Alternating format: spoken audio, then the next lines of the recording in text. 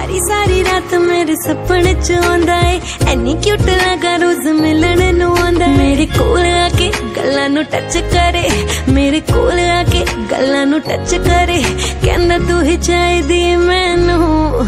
ਮੈਂ ਤਾਂ ਵਿਆਹ ਕਰਵਾਉਣਾ ਤੇਰੇ ਨਾਲ ਜ਼ਿੰਦਗੀ ਦਾ ਗੁਜ਼ਾਰਾ ਤੇਰੇ ਨਾਲ ਮੈਂ ਤਾਂ ਵਿਆਹ ਕਰਵਾਉਣਾ ਤੇਰੇ ਨਾਲ ਜ਼ਿੰਦਗੀ ਦਾ ਗੁਜ਼ਾਰਾ ਤੇਰੇ ਨਾਲ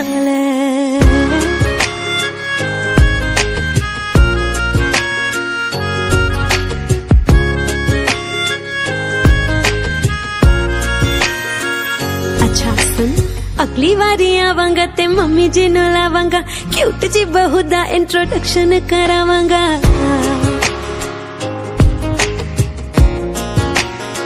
ਹਾਂ, ਸੱਚੀ। ਅਗਲੀ ਵਾਰੀ ਆਵਾਂਗਾ ਤੇ ਮੰਮੀ ਜੀ ਨੂੰ ਲਾਵਾਂਗਾ। ਕਿਊਟ ਜੀ ਬਹੂ ਦਾ ਇੰਟਰੋਡਕਸ਼ਨ ਕਰਾਵਾਂ। ਕਹਿੰਦਾ, ਸਬਰ ਨਹੀਂ ਹੁੰਦਾ ਹਨੀਮੂਨ ਤੇ ਜਾਣਾ। ਸਬਰ ਨਹੀਂ ਹੁੰਦਾ ਹਨੀਮੂਨ ਤੇ ਜਾਣਾ। ਦੱਸ ਕਿੱਥੇ ਲੈ ਕੇ ਚੱਲਾਂ ਮੇਰੀ ਡੋਲ